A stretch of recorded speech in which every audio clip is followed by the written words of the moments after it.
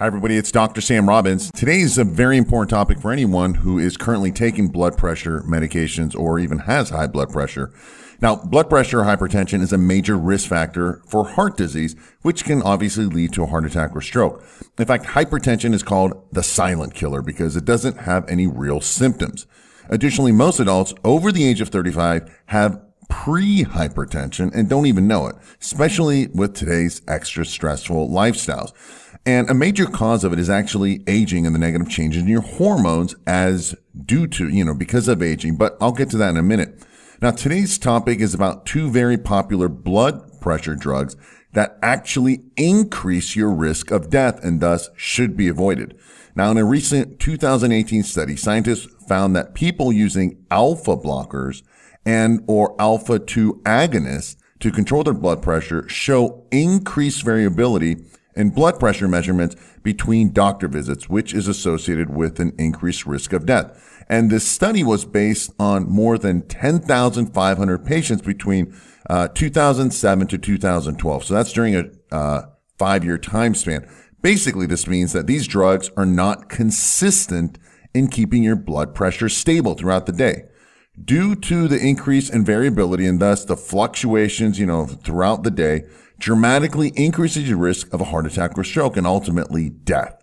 And these drugs aren't basically doing what they're designed to do. And the fluctuations throughout the day actually put more stress on your body, which then actually causes other negative hormonal changes. And The whole situation keeps getting worse and worse.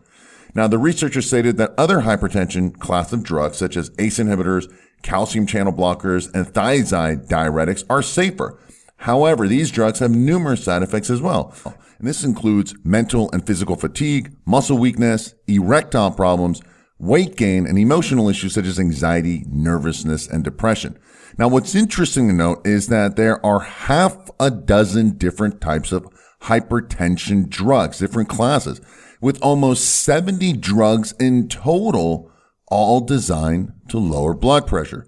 And an overwhelming 88% of the time, dosages need to be either increased and or multiple hypertension drugs are used in combination to simply lower your blood pressure.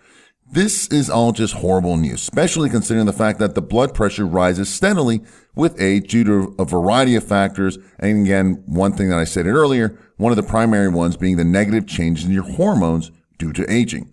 Now, I mention all this because I have high blood pressure, you know, family history of it on both sides of my family, especially my dad's side. So for sure, years ago, I, when I had to deal with all this, I had to get him off the medications and because we only saw the negative side effects and knew that again, it was only going to get worse as he got older. And because of this, I've got two important links for you to take a look at right now.